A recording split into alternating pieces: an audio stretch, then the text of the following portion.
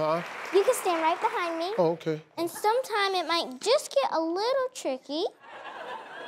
Okay, much better now. Oh. Oh, I always wanted to do this. Okay, go ahead, shoot. Okay. Oh, okay. You would say the high is 52 and the low of 41. So you try. Okay. Today, today we got a high of 52 and a low of 41. That's good. That's good. Yeah. And then we have a picture over to this side with some cumulus clouds and rain, so Okay, don't well, forget. let's slide over here, then we can see the. Okay, now. I'm sorry. Mistakes happen, though. Yeah, mistakes happen, but not while I'm on TV. See, you make mistakes, you eight, I'm 55. It's over for me. Okay, okay, point to the cumulus clouds again. This one. And some rain. So you're gonna need your raincoat and an umbrella. Get your raincoats and your umbrellas. I love this kid Maybe right a here. scarf and some gloves, because we are in the Windy City.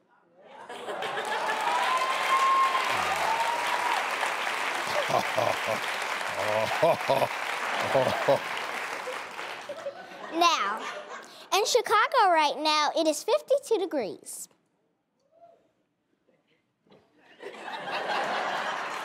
You point and say what it is. In Chicago, it's 52 degrees. Perfect.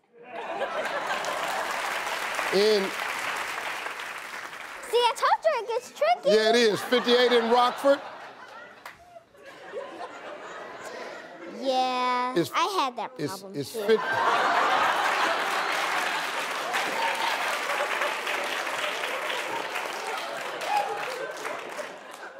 Hey, little Henry, Sir, it ain't nice to make the host look stupid, okay? okay. In Joliet, it's 53. That's where the prison is. you ain't know that, did you? no, learn something new every day.